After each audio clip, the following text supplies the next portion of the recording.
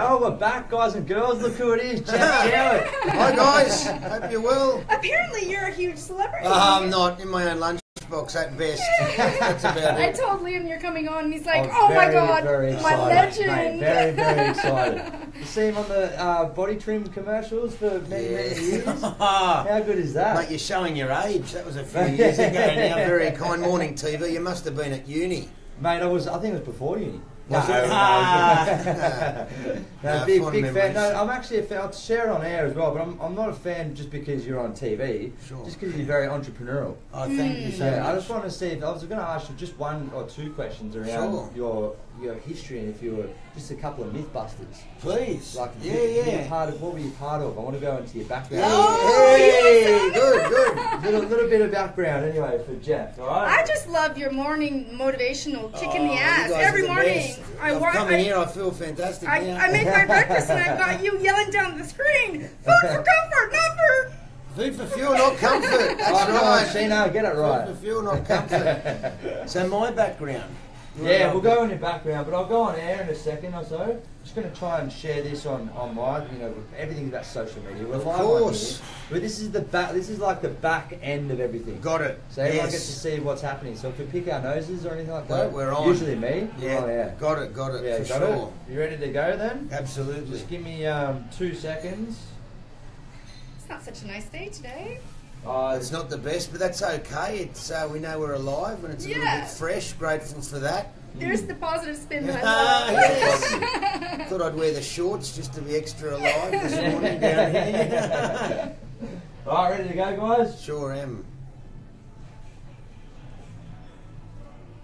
Ladies and gentlemen, welcome to the Weekend Wellness Show. This is Liam Zollo, your host, and I'm with my awesome co-host Sheena Alexandra and our awesome, awesome guest Geoff Jowett, the motivational king, the body trim infomercial king, weight loss king. I'm sucking up to you now, Geoff. I'm only Ah, sucking up to you I feel 'cause I'm so a fan. good. Thank you, I'm a- guys. I'm a fan. I'm br- wanting to bring you on the show.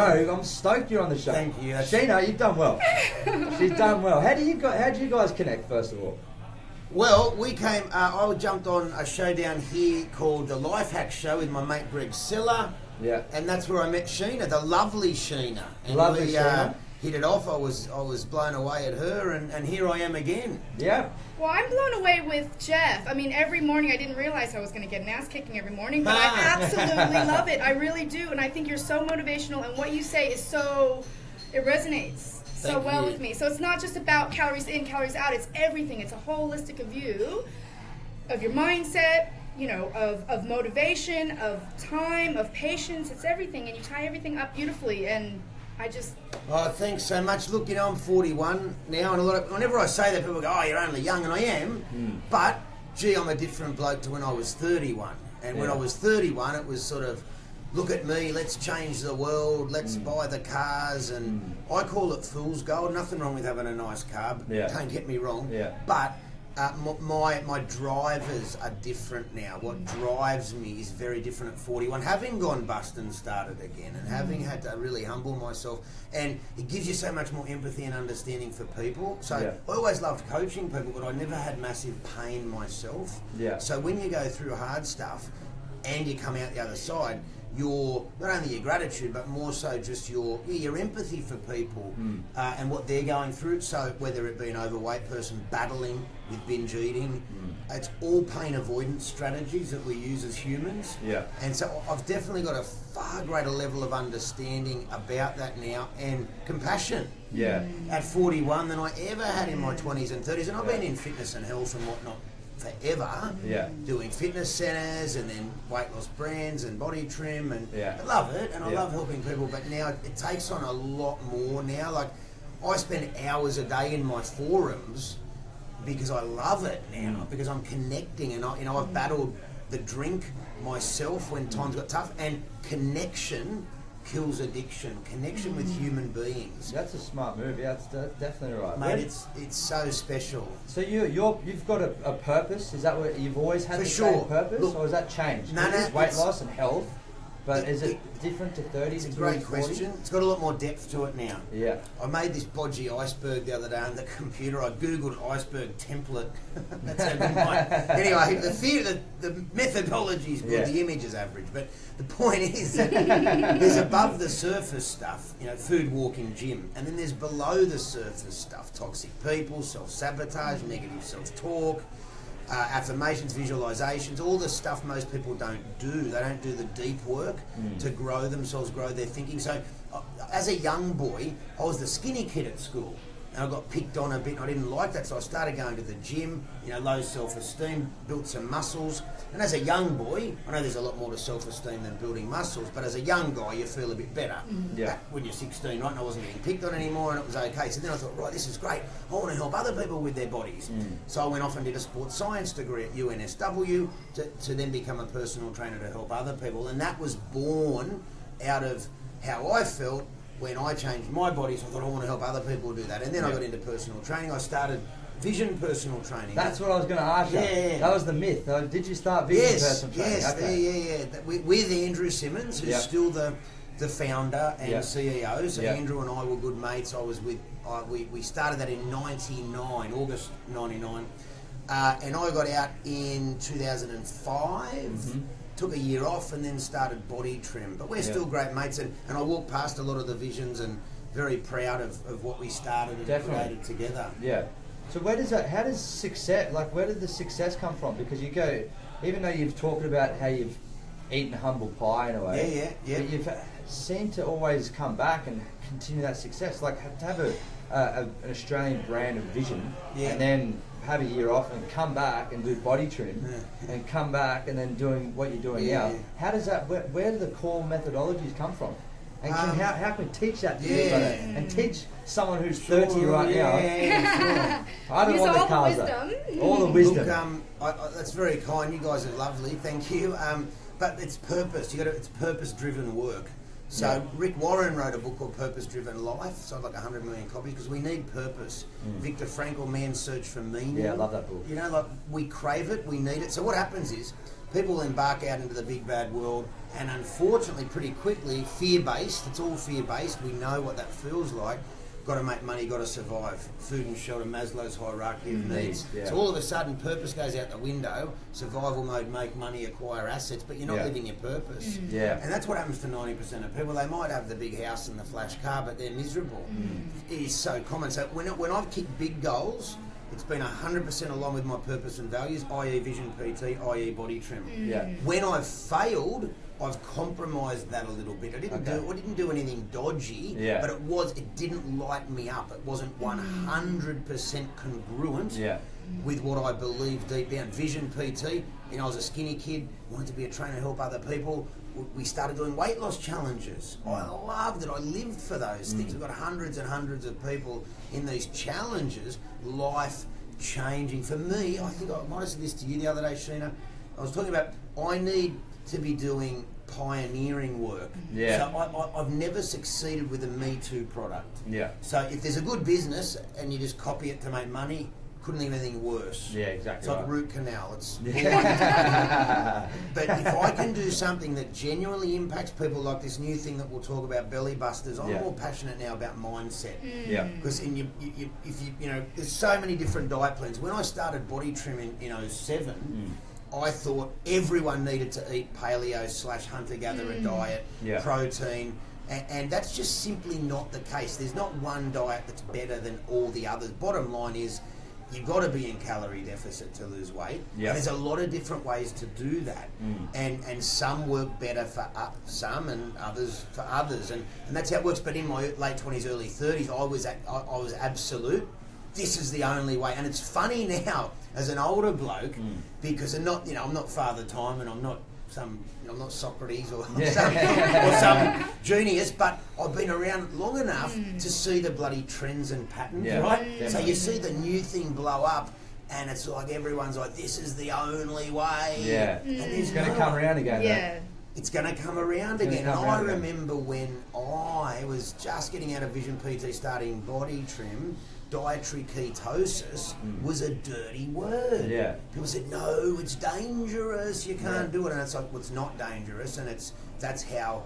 That's one great way to lose weight. So anyway, but, but fast forward ten years, and, and it's become a, a trend, a real booming trend. And again, one of many effective ways for overweight people to lose weight. But the key to it, obviously, you've got to be in calorie deficit. But getting back to you know, w- w- how do you pick your mark? Hmm. There's a great quote that says, "Don't ask what the world needs, ask what brings you to life." Yeah. Okay. Because what the world needs are people who've been brought to life. I believe in energy, hmm. and it- it's, it's all about energy and the, your orbit, and you attract the right people and opportunities when your energy's good and you're aligned with your values. When you're not, um, if you're if you're an idiot, you attract idiots. Yeah. If you compromise your values, you attract people who've compromised your values. Yeah. If you're awesome, you attract awesome. Yeah. That's how it works. And Sheena and I connected. Mm. I'm not. This is not a. Uh, Backhanded compliment, by the way, to Yeah, myself. yeah, But Sheena and I connected, and we met and we connected Yeah. because we were in a similar orbit, similar energy. Yeah, And- exactly And, right. and that's how it works, and you kind of, I'm really aware of that now. Yeah.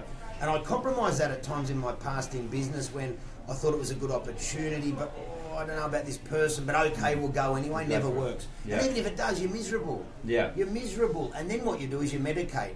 So Yeah. it's, it's it's literally a domino effect. If you compromise at the start with your values and your purpose and alignment, then in time you start to really struggle with that, and then people will ultimately medicate with food, alcohol, drugs, gambling, internet. That's how it works. It's an external feel good Yeah. to medicate an internal pain when you're not So- congruent with your values. Internal hollowness that It you is. might be feeling. You're trying to fill yourself up. and so many people are. Yeah. So many people. And it's a shame, isn't it, when- when we're living in a society? That's why mental health uh, Oh. is, is on the rise. Can I just say, with mental health as well, 300 years ago, we lived in villages, hmm. right? Now, pretty sure there were no mobile phones.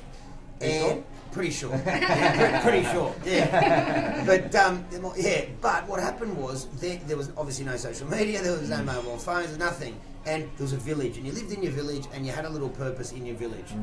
And there's still African villages to this day that don't have a word for depression Yeah, okay. they still don't know of it Yeah. because comparison's the thief of joy and what's happening is and i'm guilty of it if i'm not careful i'm on the bloody phone someone's in mykonos having the time of their life on facebook Yeah, exactly mm-hmm. right. Yeah. well, they probably just had a blue and they, they hate Yeah, their life, yeah, but on. Facebook, this looks good, right?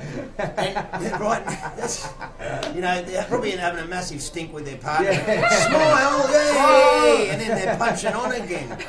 Meanwhile, the rest of Earth's like, oh, look at them, look at me, I'm shit, they're good. Mm. And before you know it, depression, anxiety is just through the roof. And a lot of it's, we're not built our brains haven't evolved over the last 300 years, obviously, but everything else has. Yeah. And that's I'm bringing out this new thing, the Jowett method, and one um, it's more, it's mindset. Mm. And and in the first half hour of the day, no phone or internet. Last mm. half hour of the day, no phone or internet. Mm. Read a book for 10 minutes a day, i.e., but not a Kindle, a paper book. Yeah. Because it's cathartic. Mm. Yeah. It's just you there in the moment with your book. If- I've got ADD, so if I get on the bloody phone and start using Kindle, I've got 20 windows open. Yeah, yeah, yeah. I've read one paragraph. One and I'm, you know, and I'm, I'm neck deep in, um, I don't know, You're street- buying, you're buying stuff on physics. eBay. Yeah, quantum physics. yeah. I'll Google Elon Musk and see what he's doing. And then you're looking at your mate in Mykonos again. Yes. and it's like, and then you look up to the screen, and a mate of mine looked at my computer the other day. He goes, "Mate, you've got a few windows open." and it's just madness because Exactly you got. Some. But if you just put the phone down, like I've got two lovely little dogs. When I walk my dogs, and I say this to everyone, like tips.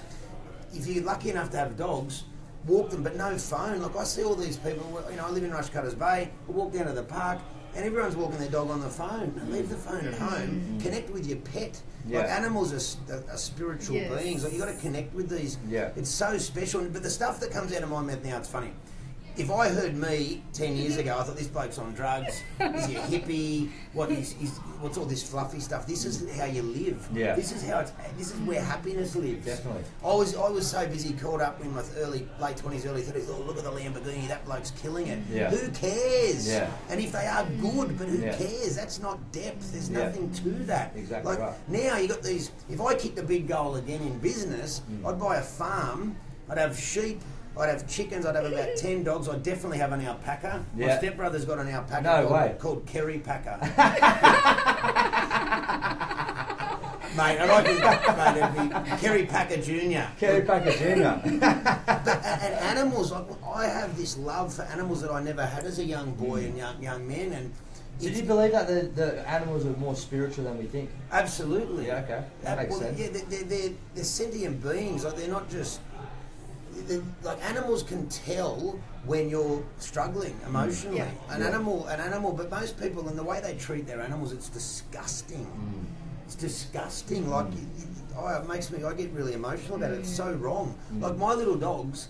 If I'm, if I'm a bit stressed and I'm not showing it externally at all, they will know. Yeah, they know. They can they can feel your metabolism. Yeah. And there's so much.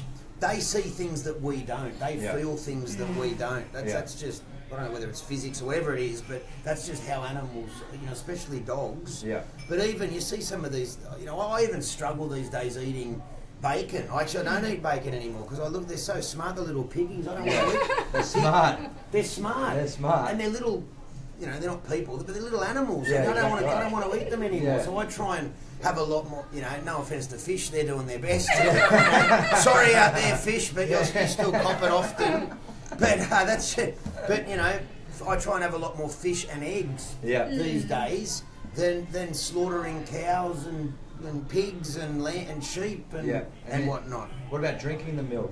No milk? Well, I don't. Um, as Schwarzenegger said, milk is for babies. Yeah, milk is milk for is for babies. babies. Milk is for babies. So a lot of people are, have some level of lactose intolerance. Yeah. Right, absolutely. In fact, if I drink milk, boom, pfft, Yeah, blow. same. yeah, yeah, Yeah, And boom. same with uh, gluten. Mm. You know, so I don't, you know, wheat.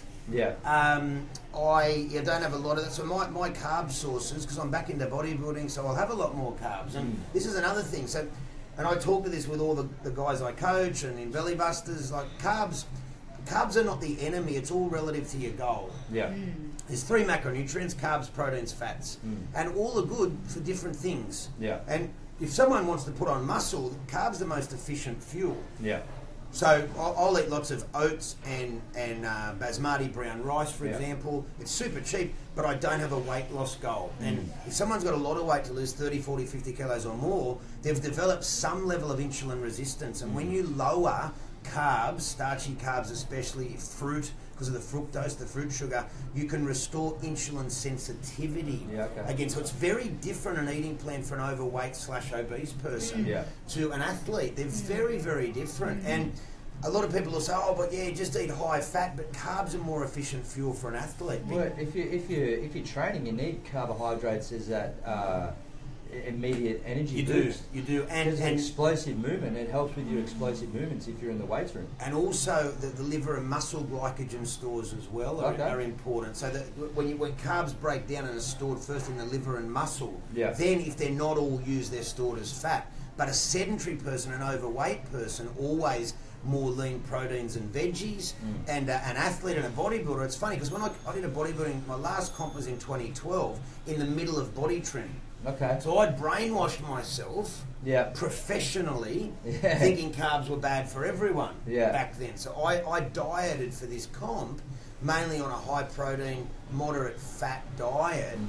and I didn't get the pump as much, and I didn't get my muscles full of glycogen, and the prep into the comp was torture. Mm. Yeah. And I was doing Channel 7 live every day, and I'm like, oh, I can't even see, I'm so fatigued. Yeah. And because my body just had no fuel, I had no fat left on my body, and Mm. I made it really hard for myself. But an obese person, perfect, Mm. because again, they need to be in calorie deficit. And uh, most people's metabolic rate, if they're quite overweight, is very slow. Mm. Because a lot of people, when they start to put weight on, what happens is they'll, they'll starve themselves, then binge, starve, binge, starve, binge. Yeah. Damage the met- damages the metabolic rate because of the starvation response. When we don't eat for prolonged periods of time, the body thinks we're in famine, so it slows down. Yeah. Then we get really hungry and we eat lots. So it's it's it compounds. It's bad onto bad. Mm. Don't eat eat too much. Don't eat eat too much. Whereas that's why I always say small regular meals Yeah. are good, are mm. best for everyone. It's better mm. for digestion, but it also ramps up your metabolic rate. I just Yeah. saw a post. Before speaking of social media, when I was outside, go me, go me, walking the walk. Hey, good on, good on At least the dogs aren't here. Yeah, the right? dog. Oh, I was going going to bring them. No, no, no, that's right. Thank you for saving me there, But I saw a, a, a, female physique competitor post, and she said, you know, I, I eat anywhere between five and seven meals a day. She's got a little girl, and it depends on you know her, her mum duties. Mm. But everybody who takes their body to an elite level eats between five and seven times a day, every two to three hours. A meal, a snack, a meal, a snack. That's why three meals, three snacks. And a lot of people I used to play golf with. Well, I still play golf with mates of mine, and and um, one of them got onto intermittent fasting and he dropped about 15 kilo and he's like, oh, it's the best thing ever. Yeah, yeah, yeah. Jeffro, Jeffro, what do you think? And he's, he's bailing me up on the fourth green, mate. What do you tell me?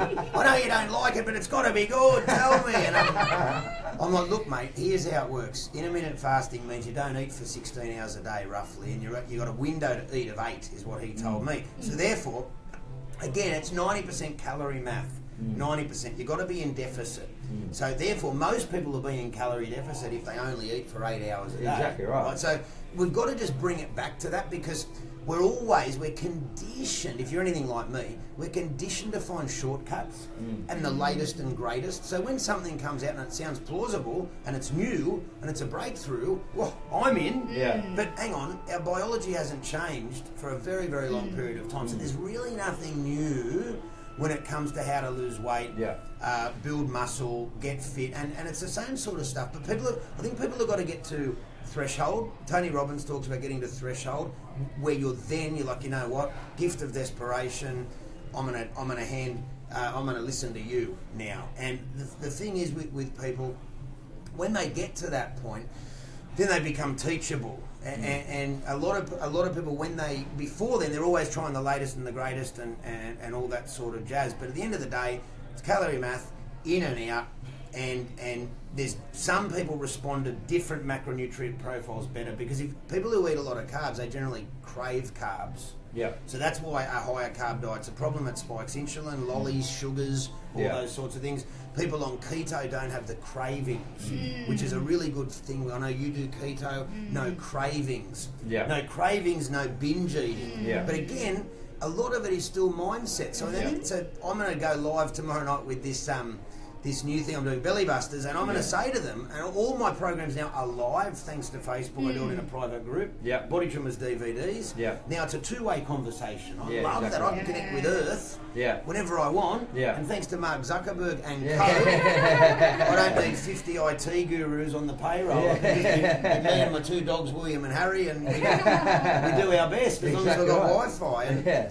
Right, and, and the thing is, I'm going to say to these guys tomorrow night, this isn't a diet this is a mindset and lifestyle program for weight loss. So if you're waiting, I'm going to say to them, if you're waiting for a detailed food list, recipes, mm. everything, I will refund your money now because yeah. that's not how you lose weight. Because okay, a million people bought body trim, and I guarantee you, 800 plus thousand put the weight back on because we didn't yeah. address mindset. Yeah. All I all I did was above the surface: food, walking, gym. Yeah.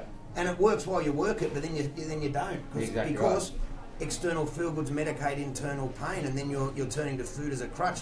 And the thing is, because I'm really transparent and vulnerable with my battles with alcohol over the years when I've struggled, mm. these wonderful people in my teams and groups, they share. Mm. And, and I find if you drop your guard and you're transparent, other people are as well, and, that, and that's connection. Yeah. yeah. I can't even. That's that's a drug. Like that's my connection's my drug of choice now. It's yeah. the best. Like Russell Brand talks about a lot of this stuff. He's battled addiction obviously Russell Brand. He's just got a new book out called Recovery. It's really yeah. good and. Mm. It's all the same. It's food, alcohol. They're, they're all the same external feel goods, and, and people, food, everyone, alcohol, drugs, food, alcohol, drugs, gambling, mm. social media, Netflix. Yeah. If you're binging Netflix, mm. you, are escaping. Yeah. I, you know, escape, eject. Yeah. I, too much pain. Oh, I can't. Oh, I need a break. Eject, eject, eject. Mm. And the thing I try and teach people, the more that you can sit with it and get uncomfortable, that's when the growth happens. Yeah. But you've got to acquire some skills, i.e., some mindfulness stuff, breathing exercises, meditation, mm. these sorts of things. Again, when I was 30, I'd be like, ah, I have got time, yeah. mate. And that's why your life imploded. Exactly right. Because you didn't make the time for that. You thought, oh, I'm so busy. Look at me, I'm going good. You know, half a bottle of scotch a night. Mm probably not the answer yeah. at that point in time. And I'm not Robinson Crusoe. Mm. Most people. Is it stress though? Is that what brings on these things as well? For sure, but I, I, say to people, do do medicate or celebrate. Yeah. Right. So these external feel goods, they start out as a coping mechanism, and then, like the first time you have a drink of alcohol, you're like, oh, how good's that? Oh Yeah. my. Oh, my OCD's gone. Oh, Yeah. my anxiety's Yeah. gone. Oh, this is great. Yeah. It's just Jeffro at his best. Yeah. Maybe early on, Mm. but you know, it starts out as that, and then it becomes habit forming. Yeah. And habit forming, you know, with the bad things, you know, can absolutely destroy your life. Habits like a pair of invisible handcuffs, and before you know it, you you, you snook it, Yeah. and it takes over your life. So me, for me, it was alcohol. For overweight people, it's food. They medicate with food because food. You know, often I speak to a lot of women, and they've had some very, very, very, very average ex-husbands Mm. who've um, unfortunately a lot of. So I won't say a lot of men. That's that's unfair, but Yeah. know, I know There's I of know of. the room. Yeah, sorry. There's two of us in the room. But I know of a lot of these stories where the, the husband would say, "You're fat, you're ugly." Oh, that's, that's mate, there's so much of it. It sickens me. Really? It sickens me.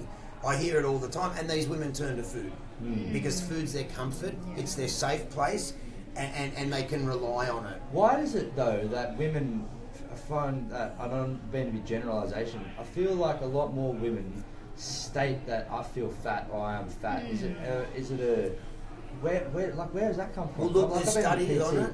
Is there studies on Yeah, it? there's actually? studies on it. So you get a bloke. It's, I love this one. They've done studies. So you get an average-looking bloke, and he thinks he looks really good, Yeah, and you'll get an amazing-looking woman who thinks she looks average. yeah. They've done countless studies on this. Uh, It's bo- a bit of body dysmorphia. Why do women have it more? I don't know the answer to that. I'm sure there's a biochemistry or some sort of reason for it. But yeah, a woman who's in perfect shape and, you know, pretty much uh, uh, all, all my female friends, my wonderful uh, ex fiance, we're still great mates. You know, she was a, a world champion in, in fitness competitions and Really? still. Um, yeah, did incredibly well. Won some uh, the Arnold Schwarzenegger Sports Festival overseas and did Yeah. amazing stuff. And um, still, at times, thought she didn't look that good. But Mm. again, this sounds terrible. I don't want to bash men because I'll probably get bashed when I go outside. but a lot of it's we used to talk about this. A lot of it's old tapes. So if you're dating a bloke or with a bloke who tells you you never look good because it's the bloke's vulnerability, Yeah. the bloke's insecurity, self-esteem issues, so they transfer. Yeah. They transfer onto the other that person. energy you're talking about, that vi- Yeah, vibration we were talking about before. it, it's, it's that, and also if someone is not comfortable with themselves, a lot of the time, then it's their own self esteem and jealousy and fear based stuff that they put mm. onto the other person. Don't Yeah. lose any more weight. Like, what I know heaps of times when. Uh, you know, someone loses heaps of weight and they're, and they're overweight. Mates are like, "Oh, have you got an eating disorder? Don't lose any more weight." Gee whiz, oh, I'm worried about you. Mm. Yeah, yeah, yeah. And it's like, calm down. Like, Yeah. see, what's happening is that. I'm really passionate about this because I've seen it all. Yeah. Mm-hmm. We had a million people bought body trim. I've spoken to tens of thousands of people. I know what happens. I understand the mindset, the psychology, Yeah. the human interaction, the behaviour. And what a lot of people do, their mate starts losing weight, and then all of a sudden the spotlight's on them. Mm. And they're like, oh, I'm, I'm the fat one now in the group, mm, Yeah. right? And they don't like that. Yeah. So they want their slim friend to be fat again so mm. they feel okay. Is this a worldwide thing or is this tall poppy syndrome that we've been discussing? Oh, on Australian before? tall poppy syndrome. How Australian- good is it? It's the Yeah, best. Oh, don't be too successful here. No, no, not at all. Uh, but I don't like. That's just. Do you reckon that needs to change then or what? Well, it's a. It's Is an Aussie thing? Is it because it, in America is it doesn't It doesn't doesn't. happen? But Doesn't anyways, it's a long. And That's it's a long- conversation long-winded. for a different. I want to know. I've been dying to ask him a question, and you just Oh. totally like controlled the whole floor. I didn't even mean to. I'm just so impressed. I'm just Oh. fan here. I'm just. Fair. This is the first time that this has happened. Not Where And bad. fan and Ah. Facebook friend. Fan and Facebook can I ask one question and then you can ask? I got no. You're all right. Okay. No worries. okay, I just want to go back to um, my experience with the keto diet, Yes. and um, I've experienced um, obviously the motivation that you have to take or you have to have to start a diet. I've done that so many times, but what I haven't done because this is the first diet that's actually worked with me. I've had to become patient with the weight loss, which is something I've never experienced. How much time it takes to actually lose the weight. Yes. So can we just talk a little bit about the motivation Oh. and the and then and then keeping in it once you've you, you started Excellent question, yeah, Sheena. You know? So I've got another little Jeffism called the motivation gap. Mm. The motivation gap, I say it takes four days. Well, not takes four days. Normally you're motivated for about four days, three or four days. Mm. You make a change, bang, and then the motivation's gone. Studies show it takes at least 30 to develop a habit, so it's the 26 in the middle. Yeah. That's the motivation gap, and that's why people struggle losing weight, changing their life, giving up the drink, the smokes, mm-hmm. whatever it is, because they don't stick at it long enough to bridge the motivation gap. Four days into 30, 26 in the middle, and that's where I believe connection and tribes come in. Mm-hmm. Because you're gonna, it's hard at the start because it's not a habit. Mm. You know, I I made a deliberate decision three months ago to read every day, at least half an hour. It was, it was like pulling teeth at the mm. start. It was like, how much longer have I got to do this for? Bloody hell, this is terrible. You throw a bit of ADD in the mix, and it's not ideal. Let's, let's not kid ourselves. But, and then you know, audio books and whatnot. But I'm doing, I'm multitasking seven things. That's not really mm. slowing me down. Yeah. Mm. And that's why now. So for people trying to lose weight, think of it like this: if it took you ten years to put the weight on, then one year to get it off is a good deal. Yeah. And that's how it works. Yeah. 10 years to put it on. Let's say you, you put 50 kilo on, you'll get it off in a year. Mm. That you, you know, let's say it took you a couple of years to put 20 on, you'll get it off in, mm. in six months. Mm. So that's a pretty bloody good deal, right? Yeah. You did a good job on yourself for 10 years, now we can get it off in one. Yeah. That, that's how it works. And the, the motivation, like, the thing is, there's so many people start, stops, pick it up, put it down, pick it up, put it down. That's that's what we mm. do. That's what I've done many, many times. And you get to a stage of threshold in your life where you go, enough. I give in. I'm gonna do the work, the deep work to change my life. Like, hmm. you know, I've started some great companies, but I've had some really big blunders, and I don't want to keep going through life like that. And I have to do the hmm. deep work, stay humble, hmm. feet on the ground, Yeah. daily habits, rituals, routines, read books. It's the boring stuff, right? So Yeah. people listening, oh bloody hell, don't tell me I've got to do all that. If you want to have a great life, you do. Yeah. There's no shortcut. And I see train smashers all the time. People's lives who look good, neck, neck minute rehab, minute. neck minute bankrupt, Yeah. neck minute divorce because they don't do the deep mm. work. And I see young blokes, you know, in their early 30s making a lot of money. And it's they are literally sprinting towards the edge of a cliff Yeah. on that frequency. Yeah. On that frequency. There's mm. just, it's a time bomb. Yeah. If you don't do the deep work, the universe will humble you. And a man who's in it, who's just turned thirty, what's your advice to me then? Stay well, humble. Stay humble, but also really commit to growing yourself. I always say, grow your thinking, you'll grow your life. Mm. And but I didn't. You know, I was lucky. I had a couple of big winners in business, Mm. and you know, oh, you know, oh yeah, I know I should read, but I'm. I- I know what I'm doing. Mate, you might be good at ideas and, and creative, but you haven't done the work on yourself, champ. Yeah. And then addiction takes over and a whole lot of stuff because you haven't done that. Your feet aren't on the ground. So are you reading books? Are you meditating? Again, boring stuff slows the brain down. And it, but if you don't do that, sooner or later, train smash. Yeah. Mm-hmm. And people have a lot of success young. Sooner or later, if they're doing the work, amazing. If they don't, train smash. Hundred percent predictable, and it's it's the iceberg. Again, for weight loss, food, walking, gym above the surface. Below, mm. there's a truckload of stuff. Like Yeah. things that I'm going to talk about with them tomorrow night. Mm. It's part of the Jowett method. For 10 minutes a day, you have to read a book. Mm. What's that? And, but it's not a diet book.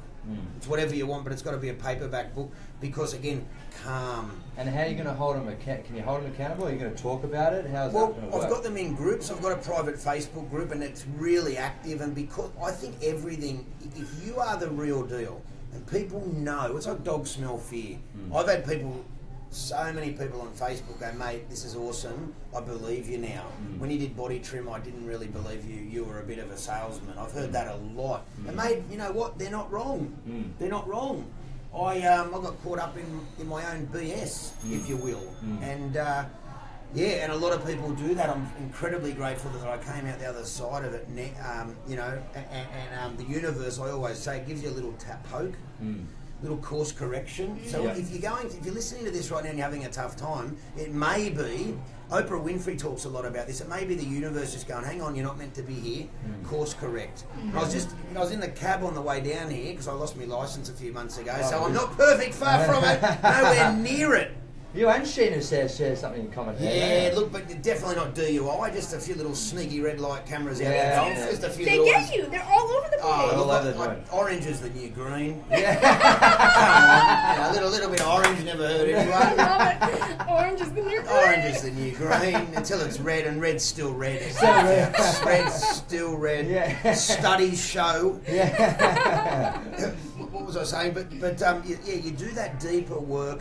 On yourself, mm. and, and it sets you in, in good stead. I did a meditation course years ago, but now you got Headspace, Calm, you got all these mm. apps that are really good. Even breathing exercises. Like, but I look back at it. My mum died at 54, cancer, oh, bowel, liver, lung. She had anxiety, or she was an anxious person, right? So I'm an anxious person. When I'm connected with people and whatnot, I'm not anxious. Mm. By myself, Anxious. mate, my there's a head. similarity with me, actually, to be honest. Oh, this thing, Mm, just just seven goes. million miles an hour. Mm. TikTok. And you know, you you've got to do option A, take meds, which I don't want to do. I mm. tried, I didn't like them. Option B, do the bloody work, mate. Do the work on yourself, and the work is not. Oh, just give us a uh, Peroni, thanks. That's Yeah. not doing the work. That's a band aid. Yeah. And I know most people, and most people are medicating with something every day. And I was, I was in the ca- car on the way down, the cab, and I thought about that. because I was talking to someone about. I was talking with the cab driver. Oh, so really? that's what was happening. Yeah, me and the cabbie, we hit it off. It was great. We're talking because everyone was at the races today and all down in Melbourne, and, and just the fact that the vast majority of people are, you know, are medicating most days with something. And I got to a stage in my life where I want to live at a higher level. I want to mm. play a bigger game, mm. and I believe there's a lot more. I believe there's a lot more to this world than just what we see. I'm not a religious person. I'm not mm. into man-made religion. There's nothing. No offense if you are, but I'm a spiritual person. I believe we're all connected. If you believe science, the universe started the size of a pea. Yeah. So and it grew out from there. Mm. So pure science tells us we're all connected, mm. and but we're, we're living in disconnected times. Mm. And when you when you take the time to connect with, with people, and I try and do that more and more these days, a lot of the worry and angst goes away. But when you're just when you're just doing it yourself, and you're just sort of in fight or flight mode the whole time. It's just a yucky way to live. And even if you do make a ton of cash, you're still miserable. And as I said, Mum died at 54, bowel cancer, bowel, liver, lung, and I believe a huge catalyst for that was her anxiety and hmm. untreated and didn't do hmm. the, the deep work. Because back then, no one was meditating or talking about this Yeah. sort of stuff, and she had, a, you know, OCD traits like I do, and hmm. all those sorts of things. And you just got to commit to doing the work on yourself, and you got to be a, you got to be honest with yourself. I, I go to the bookstore on Sundays. Like fair income, I'm 41 going on 95. Like, like, people go, "What's what are your plans tonight?" Well, I'm going to go home.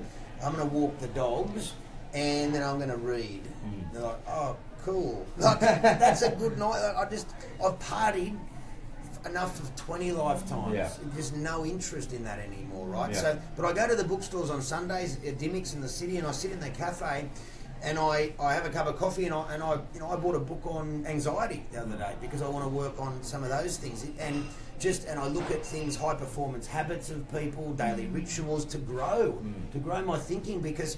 Neuroplas- neuroplasticity tells us we can change our brain. Absolutely. We're not stuck with this rusty old bucket of bolts anymore. Yeah. We can tweak it. Yeah. But we have to do the work. The neural pathways, we can shift them, change them, strengthen them Mm. if we do that deep work. And for me, at 40, I'm halfway. You know, may- maybe I'll get, you know, hopefully I'll 100? live to 100. That'd Yeah. be nice. Raise the bat in Get the a air. letter from King George. I'd love King it. George from the that best, side. yeah. but the thing is, for everyone listening, and you know, at the end of the day, we don't know how long we've got, and mm. I just want to play a bigger game. And, and I know if I'm doing some, if I'm doing purposeful work, and everyone has got great purposeful work in them. Everyone's got giftedness. Everyone's got greatness in them. But you've got to be a bit bold. You've got to really take the time to think what really lights me up. And when I talk to people about this, they've all got something, but they're paralysed by fear, fear of mm. rejection, fear of loss, fear of failure. So many people are paralysed by the fear of failure. I've failed more than just about anyone I know, hmm. other than Colonel Sanders. he had a lot, and I'm pretty sure it worked out for the Colonel. Yeah, Colonel. He probably didn't do much for the obesity crisis. all. Good on you, but, but he didn't know about it back then. He was just doing his best. We were all right back then. But he did said he had that many fair income.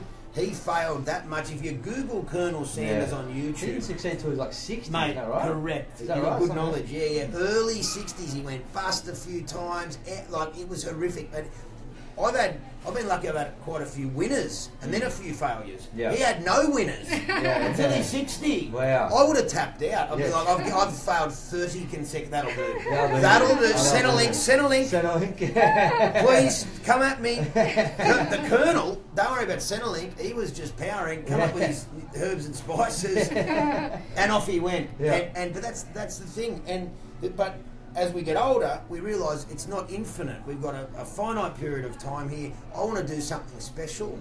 Hmm. I, I I, I believe that most people live in a level, they've all got a level of pain that they're living with, and I think the more we connect people with with the same goals, i.e., groups for weight loss, hmm. that's why Weight Watchers has been so successful, multi generational business hmm. meetings, Yeah. Yeah. Yes. meetings, a connection of people. Connection. You know, because of my drinking, you know, once a week I'll go to AA, check in, meet people, connect, and I have no desire to drink anymore. But me being there and sharing helps the newcomer. Yeah. So that's why I go. Someone said, "Why do you still go?" And I go, "Because it helps the newcomer." Yeah, I get And they that. hear what I've got to say, and it gives them hope when they're like two days sober Yeah. in the horrors. Yeah. I mean, mate, it gets better. It Mm. gets better, you know. So that's that's why I go. But it's purposeful. Yeah. And purposeful work doesn't have to just be what you do for a living, Yeah. right? That's really important. Can you sum up what your words are and if your purpose? And Yeah. then talk about belly busters as Oh, well. Because absolutely, belly yeah, busters yeah. starts tomorrow. Well, that's what we're going to go on. Yeah, that, yeah, yeah. definitely. Cool. I want to know purpose I'd say and um, go to belly I'd say em- I haven't thought about this, but you put me on the spot. Oh, I'd say empower and educate people to be their best self. That's really what it comes in because I'm more about I'm all about mindset now because I've had all my own battles. I didn't do the deep work on me, so I struggled, and and that's because of my own battles. It's given me the drive. That's my purpose. Yeah. I, I'm not. I don't coach bodybuilders. I've got no interest in that. Taking them from ten percent to four percent doesn't interest me. Yeah. Right. That's a superficial goal. I'm not interested in that. I'm interested in the deep stuff. The mm. body's just a byproduct of the mind. Yeah. And changing that. So obviously the overweight population I love because there's a flow and effect in their other areas of their life. So empower and educate people to be their best, I'd say, would be uh, maybe a bit of a mantra for me. Yep. What was the next one? Oh, belly busters. Belly busters. Let's do this belly busters. Belly busters. Well, look, it was a name I picked out of my backside, but Love thank it. you. I love Come- it. Hold on a second. Is this an infomercial right now? No, yeah, no, no. Oh, I can't do Close the show, no. Come on, man. Protein bars, cookies, bites, and more. Call now, 1300 707. Make the change today. Yes. Lose five kilos in seven days it's is awesome. free. That's right, free. Yeah, this is, honestly, thank you so much. Oh, that was a little bit of old school Old Aussie school. Geoff. That's fun. The- the sta- the- as my mates call me, steak knives. That's Steak awesome. knives, so, steak no Let's more infomercials. Let's go belly busters. Let's Okay, go belly to deep busters. stuff. Deep stuff. So Belly Busters is the Jowett method, and it's a new thing that starts tomorrow night. Yep. Uh, if people are interested, they can just go geoffjowett.com slash lose belly fat. Check that out. But this is all to do, it's mindset and lifestyle for weight loss. This is not a new radical diet. In fact, there's going to be a few different ways people can eat, and I'm going to give them those options. It's not a generic blueprint for weight loss. It's all about the self sabotage, limiting beliefs, stories we tell ourselves, getting toxic people out of our lives, addictions. Overweight people have food addictions, all of them.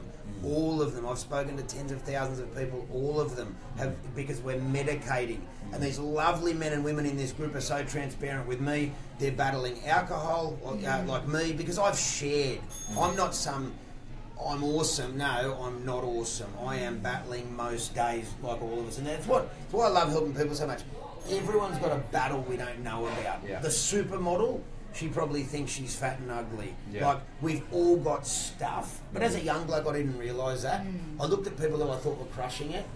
They got stuff. Yeah. We've all got stuff. And that's why I love these programs that I'm putting together now. And I made it I wanted to make it really cheap because I didn't want to come into a I wanted to earn people's trust again. Mm. You know, I'd had a couple of things that didn't go the best. So I thought, right, I'm going back to basics. I'm going to get amazing, life-changing results for a bucket load of people at the bucket list. Boom! There we go. He's a poet. He's a This bloke. That's, this is why I love you. This How is, good this is is? I get this every Uh, morning. my right? best work, my best work, my one-liners are never planned. It's just, it's just madness. Sometimes they come out good. Yeah. right. But yeah, it, it, help a bucket load of people change their life. They'll, they'll tell the story. They'll tell their mates. And all, all I want to do for the next 12, 12 months, couple of years, is just make a humble living. Mm. Helping people, and it'll grow from there because I've made a lot of cash, lost a lot of cash. I'm not going to be driven by it anymore. I want to do purposeful work. I got that's why if I kick a big goal again, there'll be no fancy watch, no fancy car, because I'm worried if I dip my toe in that way of thinking, mm. That's down the addiction. rabbit hole. That's That- an that's an addiction. It's an addiction. Again, external feel good. Mm. If you're struggling and you go buy a Ferrari for a week, you feel on top of the world. Yeah. It's it's a band aid at best. Yeah. You've got to do the deep work. There's a great book called Search Inside Yourself. I haven't heard of that one. What's One of the um, the early Google programmers, I think Chade-Meng Tan, I think his name is, search inside yourself. It's mindfulness based. Mm. But that's what it comes down to. We're looking at these external. Oh, I feel bad. I buy a new surfboard. Oh, I feel bad. I buy a car. Oh, I'll go retail therapy. Yeah. Retail therapy is an addiction. Yeah. I haven't bought any new clothes for well over a Mm. year. I've got so many. Like, I'm. In case you missed it, it's radio, so you can't see my bodgy head. I'm about five foot tall. I've got a very average head. I'm not going to be a model anytime soon. My clothes. I don't need the latest clothes.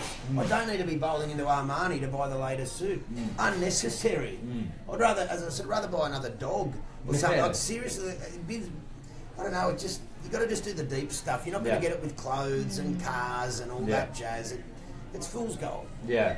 Oh, mate, it's been an absolute pleasure Oh. to sit down and chat with Geoff Jowett. This is unbelievable. I'm I actually, actually been, uh, been been humbling sitting down and Oh, chatting to you. See the other side. Yeah. Because you see it on, on TV where you come from, but to see what what's actually happening for you to share as well. Thanks. Very different to that Yeah. bloke. That bloke, he's a distant memory. He, he, uh, he's a bloke who got caught up in, he- you know, in, in his own bravado Yeah. for a period of time, and a lot of us do. There was always a bit like Darth Vader. There was always good in him. He just had to, you know. I lost my way a little bit with Yeah. trying to keep up with the Joneses. Don't worry about the Joneses. No Yeah. one cares. Do your own thing. Run your own race. Be awesome, Mm. and take the time to just.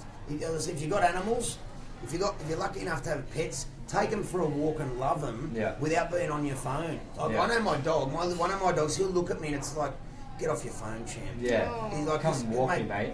yeah, and, and it- oh, they just unconditional love. Like anyone who's lucky enough to have an animal like that Oh, doesn't, mate. doesn't get any better than that. And then we- we were just sitting down, me and my girlfriend Emily was sitting in the cafe next door and we had our little puppy, she's an Australian Shepherd. Yeah.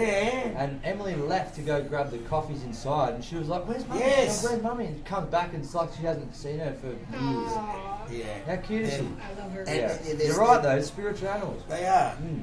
Yeah, well, lovely to be on the show. Mate, it's been an Yes, absolute so- privilege. Just as a closing, Belly Busters. Yes. You're targeting everybody, or just here in Sydney? Can they be in another? I'm targeting Earth in time. Earth, yeah, so Earth, they can be from America. or- surrounding planets in a few years, but just Earth, just Earth for the minute, you know. Excellent. You know, you look, I- um, I'm lucky. I got with my. I do a morning show as well. It's free. It's free. Call now. No, you don't. just, just kidding.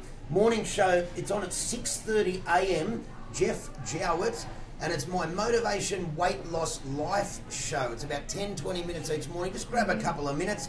It's like a strong cup of coffee for Yeah, you. that's it. Whooshka. Whooshka. Struggling to get out of bed. Bang, make that your alarm. G'day guys, Tuesday morning. Hope you're well. Rip in.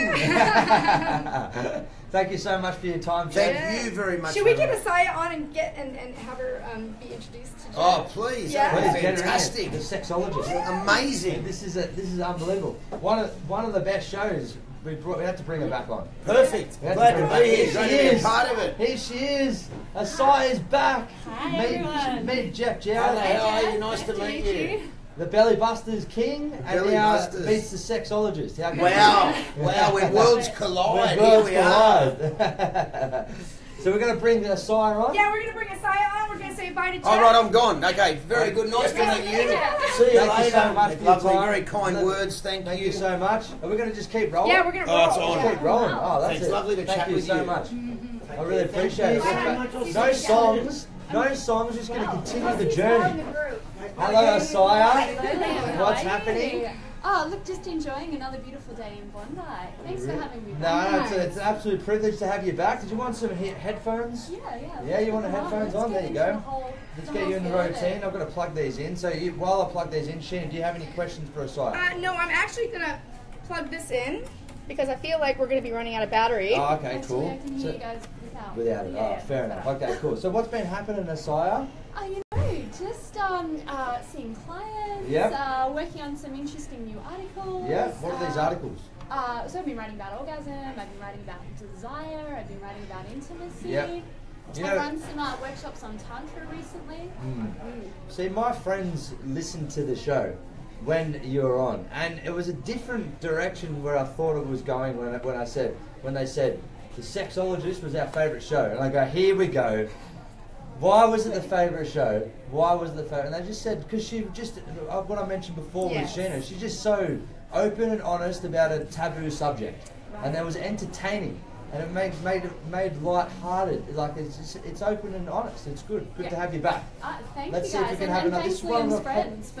Yeah. And you make it really comfortable too. You don't make it taboo. You make it yeah, just like a topic that needs to be Needs discussed. to be it does discussed. need to be discussed. Definitely needs to and be you know, discussed. it's sex is like so many different things in Yeah. life. You know, we all we all do it. We Mm. all eat. We all breathe. Like, why not kind of bring that kind of relaxation to it as well? Exactly right. So, what are the problems that you reckon we're facing in the uh, sex world? I mean, what, using that as a subject? Can I use that as a Yeah, subject? yeah. So you know what? One of the things I thought we might talk about today is orgasm and desire. Yeah. Um, because they're the things that come up in my work a lot, and you know we can't talk about orgasm too much, right? Like every everyone wants to know about orgasms. Mm. Everyone wants to know how they can have better sex. So Definitely. I thought uh, we could bring in some discussion around. Okay, that. let's go. All right. How are we going to start So, this so I want to ask you a question. Oh, I'm no. gonna switch it around. No, no, no, no, no questions. Yeah. Okay, go.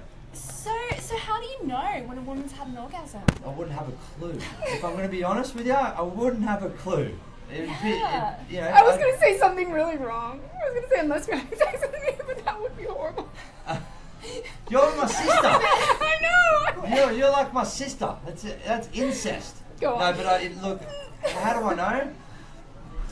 I feel as though that I would know, but obviously not. I don't know. Like, because the reason why I'm saying it that way is because so many times I, th- you know, I'm like, yeah, she's had an orgasm, definitely. But then, you know, women come out and say things like, yeah, that wasn't an orgasm, buddy. In TV senses, not necessarily in my circumstance. So then it makes me question whether I've actually given women orgasms. Do you ever ask her? Yeah, Oh yeah. she's right, standing right there. This is getting really embarrassing now. She's right oh, she's waving She's to us. waving right? to us right now. That's what. she wants you to know she's listening. Yes. How, oh, oh, she's sitting If outside. only she knew what we were talking about. yeah, I know. Don't, no, I'm not going to say anything bad. I promise. No, no, well, look, have I asked? Yeah, I've asked her. I've asked. I've asked um, other girls as well. Yeah. Yeah, they say yes, but do I believe them? Yeah, I know. Not it's, sure. it's a tough one, right? It is so a tough one. men are twice as likely to orgasm during sex than women. I thought it'd be like ten times more likely. But tho- those estimates could be conservative. Uh, and so 30% of women actually struggle to reach orgasm on a Mm. regular basis, and 1 in 10 women have never had an orgasm at all. Why? Why? Such a good question. Why? And Such how can we solve this? Yes, I love. See, I love where you're going with Yeah, this. this is good. Target the first question first. Why? Why? Okay, lots of different reasons, and the reasons will kind of lead into what we Mhm. do about it. So, I think women in general uh, are more self conscious around sex than men. You know, we're kind of held to different sexual standards than, than men. We're not taught really that it's okay to enjoy ourselves as much as men. And I think we don't quite understand the way women's bodies work sexually Mm. quite as well, you know, as, as men's, for example. So a lot of the sexual research was done around men because the researchers literally found women were like too complicated. No. that makes So, sense. Let's just go with men. Let's keep the results like really it's quite simple. simple. We're very simple creatures, aren't we? So I think like a lack of education is, is one of the things as well. A really key w- reason that women don't orgasm as much as men is because we're not spending long enough in foreplay. mm, okay. Yeah. Um, Okay. So, and, and that kind of leads into one of the things that we can do to help women increase the chance of having an orgasm, Mm. which is to spend more time in foreplay. Yeah. So, if you were to kind of take a guess at how often, uh, I mean, how long people should spend in foreplay Yeah. before kind of going to penetration, I, don't, I don't know, what's, what's your guess, guys? I'm putting you on the spot. Put me on. I like this. This is good shit. We It's- just it's a said, really- it's a- we, we just said Isiah doesn't make things uncomfortable. Now I'm just take that back. This I'd is our say- okay. second meeting. This is our I think second it- meeting. Yeah, We're now we go- it. we go a little We deeper, go a little right? deeper. I would say uh, Two hours. foreplay. Sorry. Great. Two Oh, hours foreplay. Oh, this could be really That's a hard- interesting. wow. Um, I was going to go for like ten minutes. So I think this is like one of the differences between men and women, right? Yeah. Ten minutes, two hours. Yeah. Okay. Yeah. And it's funny because you look at it with a different end result. You know, if you're just looking at it just to relax and enjoy the time that's passing, there's no rush to get to the end. There's no rush. You're just in the moment. Mm. And, you know, when you're in the moment and you're feeling good, it time seems to fly. Yeah. Yeah. Yeah. Okay. Yeah. Fair so, enough. So women need uh, It's as, it's like the recommendation is at least 15 minutes of foreplay. 50 or 15? 15. 15 minutes. Yeah, but when I tell Wow. women that, they kind of say, "Couldn't you? Can I tell my partner it's 45?" hey, there's nothing wrong with going for a longer period of time foreplay. We, you know, men like, you know, Right. but it's got to be a connection. It's obviously got to be both of you. Is that right? yeah, yeah, full play. And it doesn't necessarily. And it's also have to- afterplay too, because a lot of times women have multiple orgasms after the man has an orgasm. So it's still going on. Once one of them is finished, the other one could still be going, Yeah. Okay. right? Yes. Yes. So it's exactly. not So like- how do we know that you've had enough? Because you know, with us, I think- we're done. We're like, you know, there's a certain moment where we have an orgasm, but if girls have multiple orgasms, Yeah. how do you know that we know that you're done? Make sense? Or I think the woman would communicate, I think I'm done. Okay. I don't think I have anything else in me. Yeah. Okay. Yeah, and, Fair and. I, I, I always think communication is the really important part there. Do you want another orgasm? Do you want to keep going, or are you Mm. finished? Yeah. Yeah. And I think that so there's something question. there's something biological. I don't know the biological. I don't know what happens when you have an orgasm. I don't know what happens like with the cells. Mm. But is there a reserve of orgasm? Like, can you have endless amounts of orgasm, or is there is there actually like a reserve of fluid that no longer is there that you can't? So Go, Sheena. Go, Sheena. I, I like this. Um, are you are you talking about female ejaculation as well? Well, Yeah, um, yeah, orgasm like I just orgasm or female ex- ejaculation. Is there a, a, an end to the well? Like, and is that when you stop, or yeah? I, I'd be interested. If, I, I, you know, I, I, I mean, I'm kind of interested to explore where that edge is, and if for, for you to explore where that edge is Mm. as well. Mm. Um, I think for everyone, it's going to be different. Like, uh, women can definitely have quite a number of orgasms at a time. Um, in tantra, for example, we can also have orgasms that last up to 15 minutes. So Really? yeah, and, and they've measured this in, um, you know, I guess in the, the machines like the MRI machines Yep, yep. as well. So orgasms can actually last for an extended period Yeah. of time. Um, but I think really it's up to every woman. For, for some women, sometimes like one is enough, and then you know, like men, we kind of get a bit, bit sensitive. But Mm. other times we can have orgasm after orgasm, and sometimes it takes just a few seconds or a few minutes rest Mm. or Mm. uh, less stimulation for us to feel like we can Go again. we can go again. Yep. Exactly. So we're just talking about uh, just off, slightly off topic. Um, Geoff Jowett just came in the studio. Massive fan of him. Massive fan of you, you as well, Isiah. And he was mentioning a book called Man's Search for Meaning. I don't know if you've ever read this I book. haven't. And he does. Um, um, Viktor E. Frankl does a study on logotherapy. That's his form of therapy. And he mentioned in the book about you know um, women's orgasms.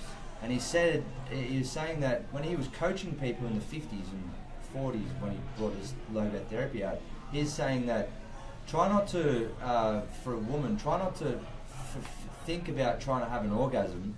And you touched on it as well. Think about trying to be in a relaxed state and enjoy the situation, no matter how long it's going for. Is that Exactly. correct? Exactly. So one of the things that gets in the way of women's enjoyment um, and you know and their orgasm is so many women say to me, "I just can't switch off. I can't get out of my head. I can't stop thinking during Mm. sex."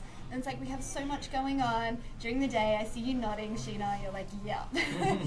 and so a lot of women kind of report this. So absolutely, like being able to come back down into your body to do something like deep breathing. So you're just focusing on the feeling and the sensation and following that kind of pleasure and intimacy Mm. is one of the things that helps us get there. Mm. Because for women who are not having an orgasm, and often we misjudge how long it's going to take a woman to have an orgasm as well. So really quickly, women can go into, oh my god, I'm taking too long to warm up. I'm ta- it's taking too long. It's not happening. What's he thinking? Mm. I don't want him to think he's like doing it wrong. Mm. And then that that kind of anxiety actually means that they have less chance.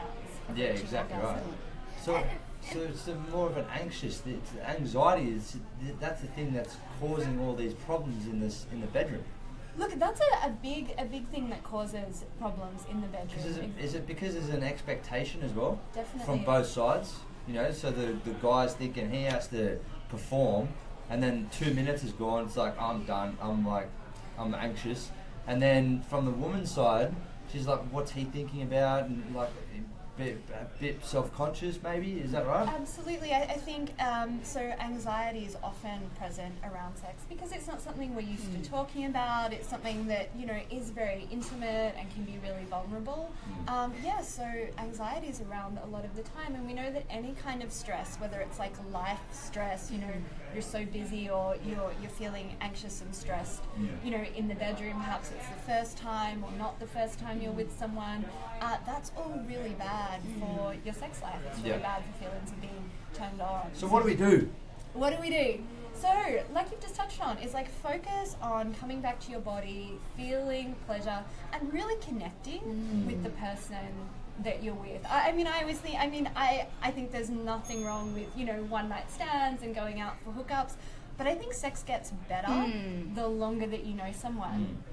Well, that's what I was going to say. Every woman is different, so every experience you have with a woman is going to be different, and then that takes a long time to master. So you know, yeah, like you were saying, the longer you're with someone, the easier it gets, and the more comfortable you are, and and the more predictable. You know, so it's it's it's almost like yeah, it's like a muscle, like we talked about before, and and even with the partner, you're you're a muscle together. And if you go to a second partner or a third, um, you, you have to re.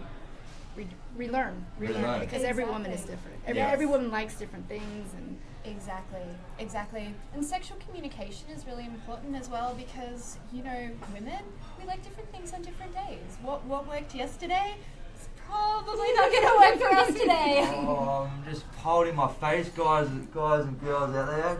How do we know what you want on that day? I'd have to ask us. yes, You have to ask us, and, and women, we have to learn for ourselves what we like and be willing to, to communicate. it. communicate that. That's another thing that people don't do is communicate together what they like and what they don't like. But yes, and I think it's really important to do that outside of the bedroom and then inside the bedroom. So to have those conversations where you're not in the moment about, hey, are you interested in trying this? Hey, I was, you know, hearing about this or I found this on the internet today. Is this something you'd be willing to try with me one day? And then being able to talk about it in the moment too. Faster, slower, this is what I need right now, just a little bit higher Yeah. um, so that we, we are getting exactly what we want and exactly what, what feels good for us. So do you think that it'd be like just to change the mold a little bit, just to help men relax? Just say from women's side something like, I'm, you know, I don't know, like just being on, like having that honest communication as well Yeah. from both sides. So Yes. if it's a man, are you asking the man to ask the questions, or are you saying from both sides? I'm saying bo- both are really important. So, men, ask the question, you know, are you enjoying this? Enjoy this. Harder, softer, faster, slower? Yeah. And women, give him the feedback as well. And I don't know about you, Liam, but I find that guys tend to respond better to like positive kind of reinforcement 100%. rather. We don't want negative, but we just want, yeah, just some some form of positive. Yeah. Guided, guided in the direction where you want us to go, and still have a, you know, some sort of positive to back it up. Exactly. Relaxes. Yeah, right, exactly. So actually, the research has shown that um, good sexual communication isn't just about asking for what you want; it's being able to give positive feedback to your partner on what they're doing well. Yeah. So you know, when they do get it right, ladies, let them know. Let Yeah. them know, yeah, that's that's it. You've got it. Yeah. Uh, show them some appreciation and encouragement. In I'm the sitting here background. like. Sheena, she's in the background. I was gonna say, I think there's something to be said at the beginning to allow each other to be vulnerable as well. Like, just say, you know what, this is. I want to know. I want to please you. I want to know what you want, and you know, it's okay to be vulnerable. It's okay to to talk about it. You know. So I think having before you dive in and start talking, make sure that the person knows that you're safe, Mm. and that that that you know you can open up, you can be vulnerable, and if you haven't established that at the beginning, it's going to be really hard. I think to go fully in and. It- It's true. So, and one of the things that um, increases women's chance of having an orgasm, increases sexual desire, and increases sexual satisfaction is actually overall relationship satisfaction. So, when couples feel like they trust each other, feel like they're intimate and connected, um, know that they can talk about things, the, the sexual satisfaction in the relationship improves as well. Yeah. I've got two questions. One is, do you think that, like, I don't know how to word this one, being a sexologist, like a therapist, how do you not take their stuff on board? you know, like if they're negativity and like you have to be so solid, what do you do in order to keep yourself solid? Like a psychologist or psychiatrist has couples therapy. How do they keep themselves solid? You know, how do you do that? Yeah, well, I'm a psychotherapist as well and a couples therapist as well. Mm. So uh, that's definitely one of the things that, that I'm working with. You know, couples uh, aren't always in the best place when they come to see me, and, and I don't expect them to be. And talking about sex can, can feel really challenging. And for a lot of people, I'm the first person they've spoken to about it. There's, you know, often emotion around it. So for me, firstly, my self care is really important. Like making sure I'm only seeing a certain number of clients per week. I have a limit on the number of clients that I can see, hmm. and then that I'm getting out and doing the things that kind of nourish me and, and fill me up as well. That I'm meditating every morning. Yeah. That I'm eating really well, and I think it's you know I feel often for my clients when you know when they come in and, and it's really just being able to kind of feel for them but then not take it outside of the room with me do absolutely everything that I can Yeah. while they're sitting in front of me taking a few minutes after to kind of debrief and Mm. um, and clear it away I think it's a really good question Liam. Yeah, thank you I very don't much. get asked that often Let's let's go the other way now. Immature question. Foreplay. oh yeah 15 minutes. What are we doing in this 15 Oh, minutes? really It's just good kissing, question. This is practical step-by-step just advice. Kissing. what is it like? What is it? Just yeah so tickling. What, what, do you- what is it? Oh, shit. Oh, yeah, Sheena. Sheena. As soon as I say tickle, come, what's going on here? Have Sheena? you ever? Sorry, coconut oil. oh yes What, what about coconut? Coconut oil, you gotta bust it out. Bust it out. It- It's a, Okay. it's a bit of a cure-all. Is it And cure all? So I, I think coconut oil is an amazing massage oil. It can So it's also massage. Be, uh, yeah, it can also be used as a lubricant. So if you wanted to do genital massage, um, Okay. And so She I- says it I- so casually. I know. I'm so I'm so excited about it. So I have a course uh, coming out next year, an online course for couples, and I'm going to be teaching cock and pussy massage in this in this online workshop. She just said And cock and pussy. I think I said that last time. I hope You I'm allowed to say it last I again. know. I, I just want to say again. it as well. Said to say it again. Oh, because how much fun to Yeah. learn how to to learn how, How to really do do that. There, How are you gonna do that? Are you gonna get a banana and and, and so, so You're not- I yeah, a, that's a- a that's a banana. Cha- I, I have I have props that I use in, in coaching because Hmm. obviously there's no nudity in my in my therapy and coaching. I have the same standards of like a, a regular psychologist or Yeah. psychotherapist. You have so I have a puppet. I should I'll bring it if, if I come back for you guys. I, I Bring have the a puppet in. I have a vulva puppet. I'll- Third, third installment of our sire has to bring the puppet in. This is so this like out the third date. I'm you're gonna get to see my vulva. oh my god. Lucky you kept finished that sentence there. Right. uh, exactly and I also have a suction cup dildo that I um, use to demonstrate. I know, and do you know what? I have to tell you. So Suction I was. I was I was on the bus uh, going to work not so long ago, and of course, like you know, I often throw these things into my into my handbag because you just never know when you're going to need it with clients, when you might need to you know explain something. So I'm on the bus and I'm pulling things out of my bag to you know what women's handbags are like to like you know find something at the bottom. And like I realized that out on the seat is like this vulva puppet and this suction cup dildo. And like the woman behind, I like turn around and she's like looking at me and she goes, That's a lovely coat you're wearing, dear. I like put them all, all the things like back into my bag. It reminds me when I went um, to Las Vegas for my bachelorette party. I was um, surprised with my sister and a whole bunch of friends, and as we were, um, they got me all kinds of like, you know, dildo uh, pencils and all this stuff like sex related, and they got me this dildo gun that it was like penis with with you put water in it and. And so I packed it in my bag. I packed all this stuff in my bag. Yeah. And at the airport, I got pulled oh, aside, and they had to look in my bag, and they pulled out the gun. Oh no. I was like mortified. I was oh like, oh my god, I'm so embarrassed. You probably Wow. made their day. That was like the one exciting thing that they got to check for the day. so let me come back to foreplay Yes. for you, Liam. Yes, yes, do this. So I don't know if you've ever heard like foreplay for women starts at breakfast, right? And I, What it- if you had, no, I've, I've heard of that, but I don't know what it means. so it means like that the the emotional context and what's going on around us like is really important for uh, women's willingness and their kind of readiness to engage Yeah, in okay. sex as well. So kind of you know warming warming each other up by saying nice things to each other, um, sending sexy messages throughout the day. Mm-hmm. Uh, and for women, like, you know, putting on your sexy lingerie in preparation, like, all of that stuff is, is really important and Yeah. really helpful. And so then when we actually get to the, you know, the more physical foreplay part, any kind of loving touch, like your your tickles, Sheena, mm-hmm. is going to be really helpful. So anytime we're like we're engaging in, in like just loving touch, mm-hmm. we're going to be releasing a hormone called oxytocin, Yep. which is like the loving, bonding, connected hormone. It's also really important for women's lubrication, so Okay. also getting us turned on and in the mood. Yeah. So massage, touch, um, having genital touch included in there, so Yeah. that's where the cock and pussy massage can be really helpful as well.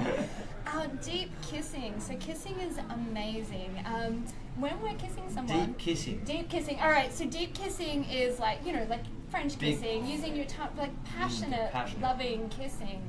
When we kiss, you know, we obviously swap saliva, Mm. and so as we get turned on, we have all these hormones and endorphins that you know that are going through the body. Like it's like it's sexy time. The body's gearing up for that.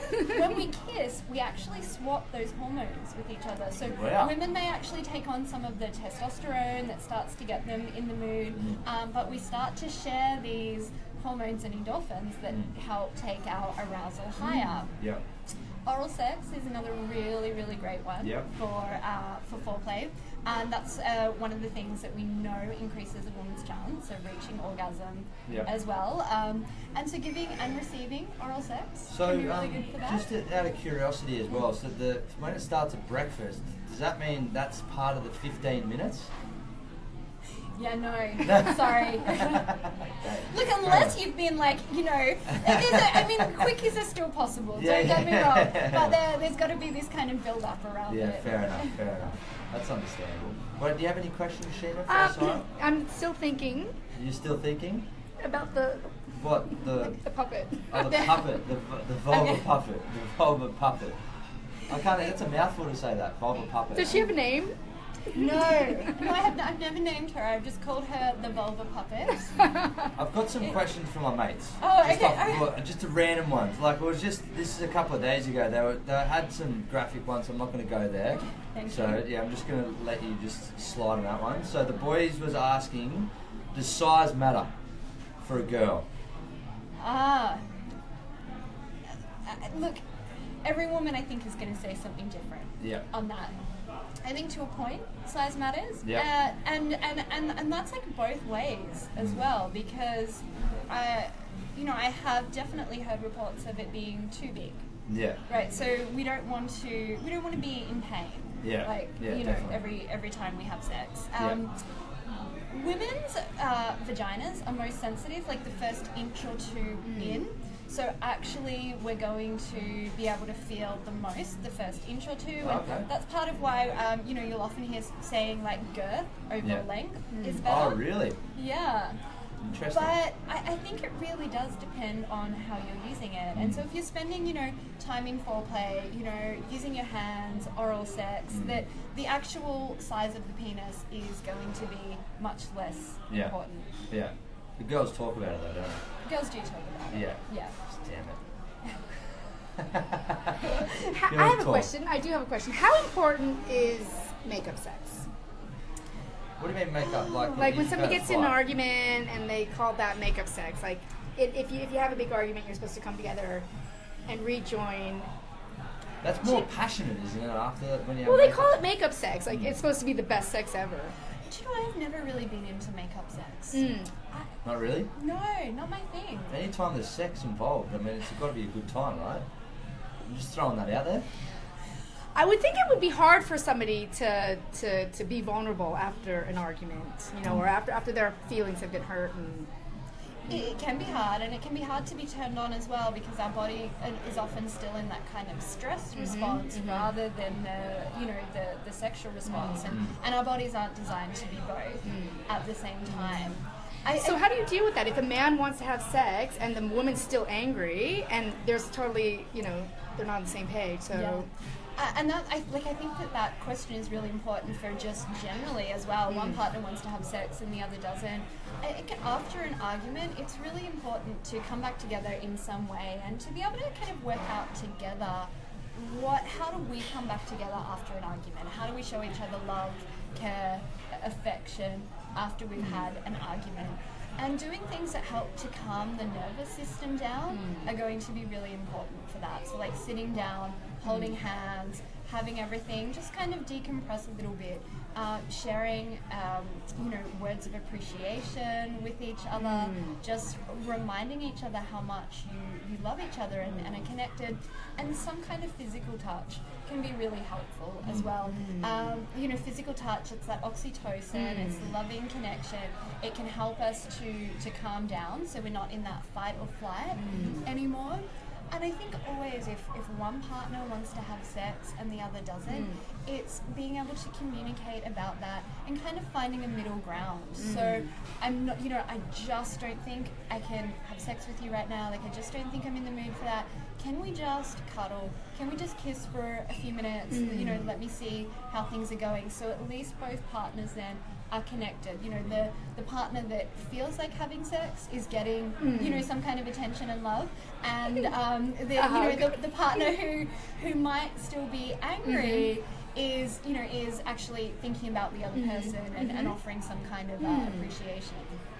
That's nice. okay. So and, and, and have makeup sex if that really works for you. It just, I, I don't know, it hasn't quite been my thing. So if a new relationship comes together, right? So Mm. man and woman comes together. Well, if you if you're gay, then man and man, or woman and woman, whatever the relationship is, comes together to prevent anything negative or separation. What's the one thing that couples can do just to make sure that they can stay solid? Is it just the communication?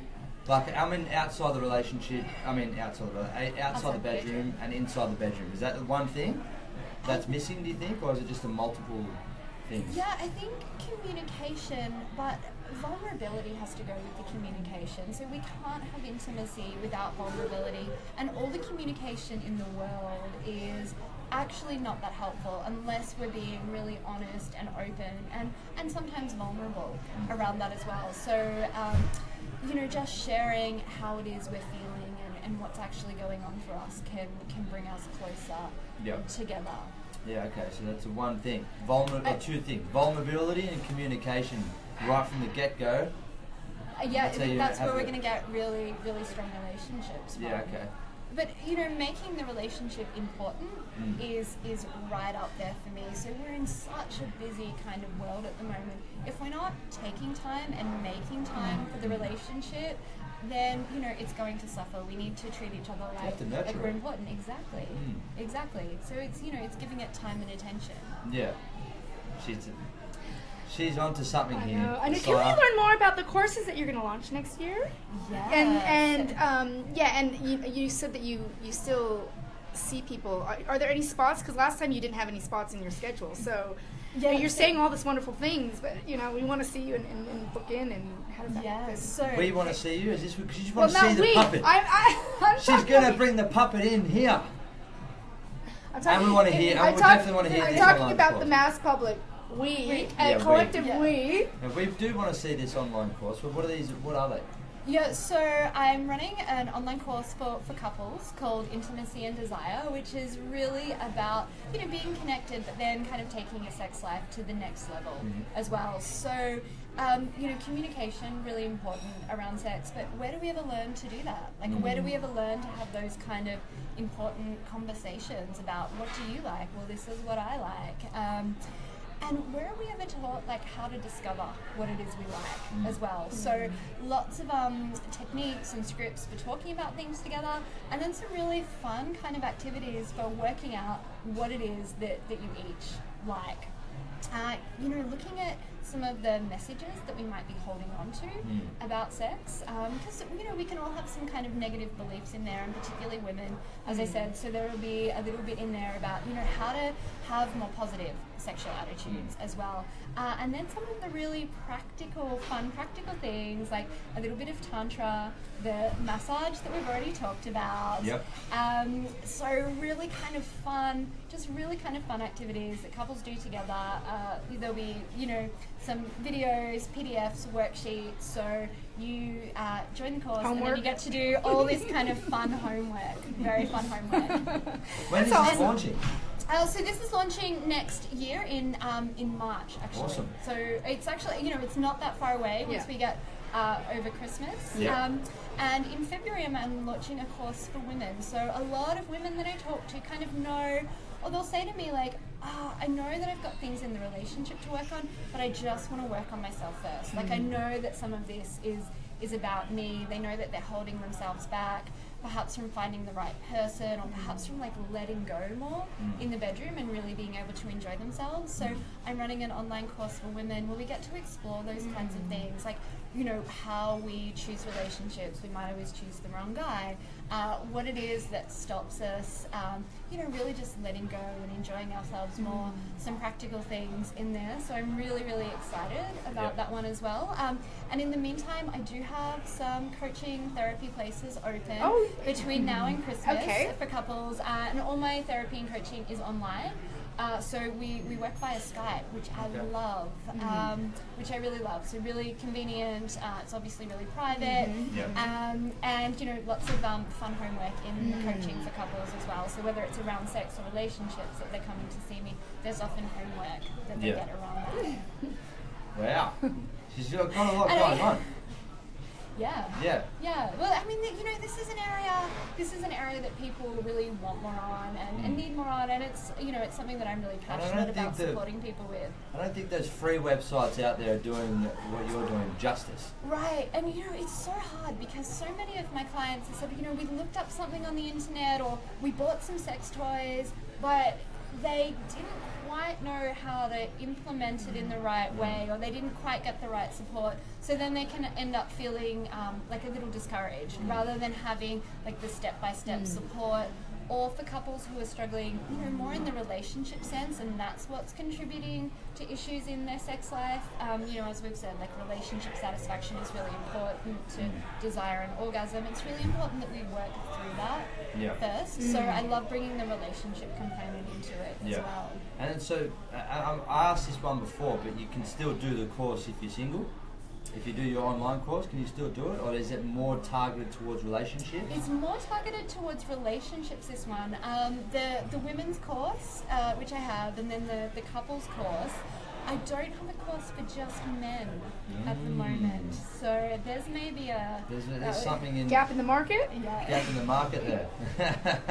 I bet, Would you do Isiah, I me? bet, I bet. I mean, there's a, probably a lot of men out there. I reckon more men would That buy would that te- course yeah. than women would buy that course. Yeah, You know, I- so it's like women when they buy, they always buy fitness, fitness activities more, but men Right. would buy the the sex stuff first. I reckon. That's that's quite possible. Mm. It's quite possible. So you're, you'd be I- multi, multi, multi millionaire. I know you're not doing it for that, but I think I, I can speak on behalf of men anyway. He'll be your business coach. There you go, Liam. There you go. There's- okay, so for, for any men, there's you know there's a whole bunch of articles and things that you can that Yeah. you can read on, on my website. On website, what is this website again? Oh, so my Can we website- Re, encourage people to visit this website. Thank you. www.isiah, which is I S I A H hyphen McKimmie, which is M C K I M I E uh, dot com. Awesome. Yeah. Thank you so much. You Or they can que- they can like you on Facebook. Oh yeah, as they can like me on Facebook. Because you've got can lots of good on information on there too. Yes. Yeah. Yeah. Lots of um. Yeah, and you'll see more and more videos coming out on Facebook. Yeah. You'll see this on Facebook as well. Exactly right. See this on Facebook. Yeah. I'm sure. I'm sure my mates will be watching this uh, as they as they did Highly last time. You could probably just do a whole group of his friends, and you can just stand up there and teach them all. Just as a group, See, group they'll, be, discount. they'll be taking notes. They'll be so engaged.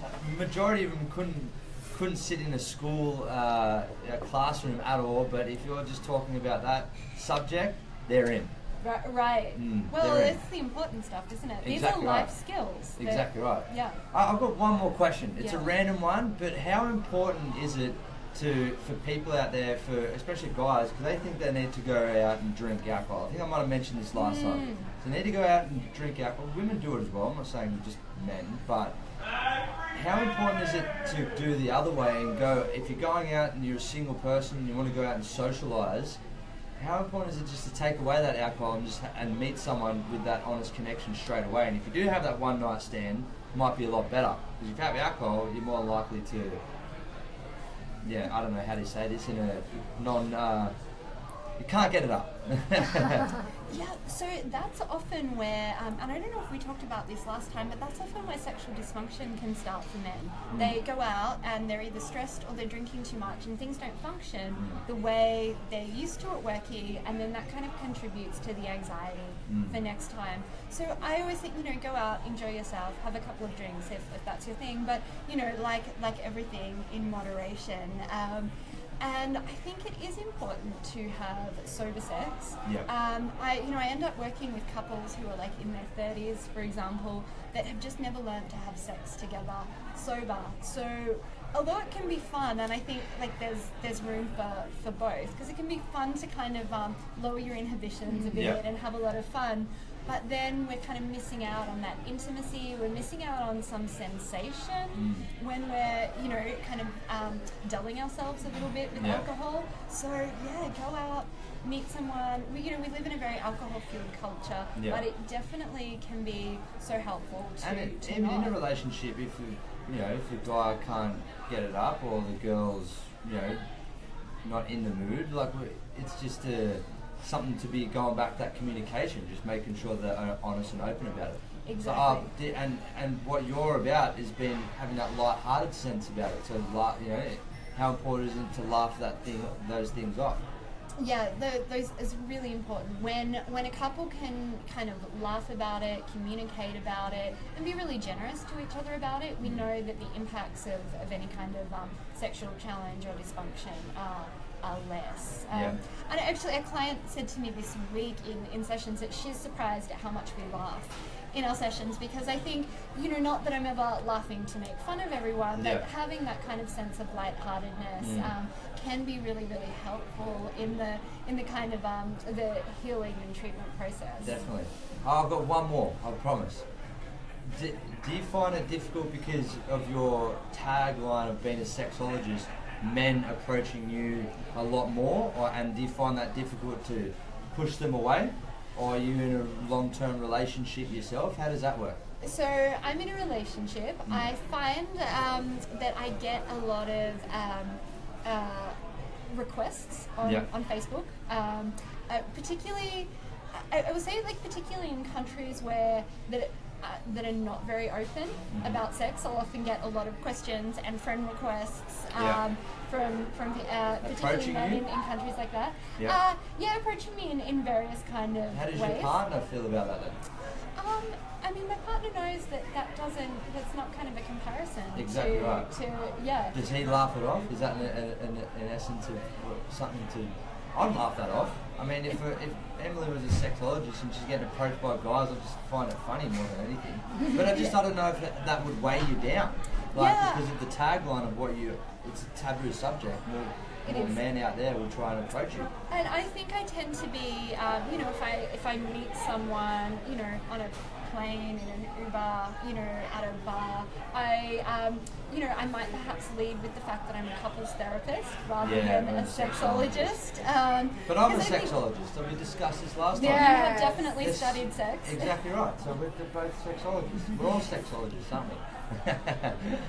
Yeah. So, like, I think it's really important to talk about. But yeah, you're right. There, there are some kind of personal, you know, uh, personal complications that Yeah. uh, that you know I don't always want to want to deal with. Yeah, exactly. I just find it, it I do find it a bit fascinating because you, it be, it actually would be quite difficult having that tagline.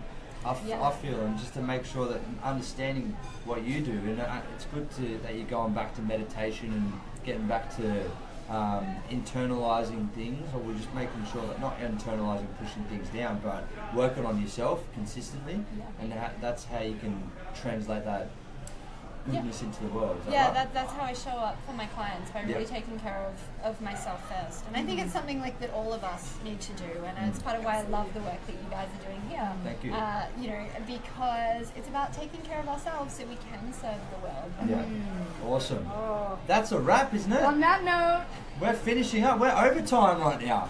We've got no one else in here. So anyway, that is a, that Do you have any th- final thoughts, Sheena? No, I just want you back in with the puppets. All right. I want to see these guys. Um, all right, next time. Yeah. Next time, puppets. So the the, the series three. the Yeah, Third series. I like it. She, she Third could be a episode. recurring guest, I right? want to see her do this. I can visualize this now. You're gonna do the some little two minute skit It's, I, I, with the puppets. it's, uh, I, I tend to usually do one at a time. You, do you sit there and you do this? You, it does have a little place for my hand, but I, I don't really make it talk. I just, um, I just use it as a display item. Display item. Okay, fair enough. Okay, next But time. I'll, I'll explain it all. You'll get to see it all. When Oh, I love it. So tune in, guys. Next Tune in, time the puppets will be with us, yeah. and that will be instructional, like Oh yeah, instructional. Sure. Yeah. Step Make by sure step you, process. um, yeah, get your get your questions ready. Get, Get your friends lined ready. up. We can have them outside. They'll make their debut on the radio. yeah, that's right. Thank you so much for your Thank time you again, so Isiah. That's been awesome and privilege Thanks, to chat to you again. Thank you for donating your time. Thank you. As always, been a a pleasure sitting down with you once again, Sheena, on another episode of our uh, Weekend wellness Weekend show. Wellness Show live on Bondi Radio. I've got no final thoughts. I'm all out of questions. I've been having an absolute fantastic show today. It's been an absolute privilege to bring Geoff Howard. Oh, I was going to say Geoff. Geoff Jowett and Isiah down here in a worlds colliding interview of weight loss and sex. Last time was just a day of sex. Now it's weight loss and sex, bringing it both together. But everything, the method of it all, is making sure that we get back to yourself. Yes. Yeah. There was a common theme in that. common theme in that, and that's where that's where they are translated. I think. So hmm. thank you so much for your time, guys and girls. Until next week. Woo! Thank you.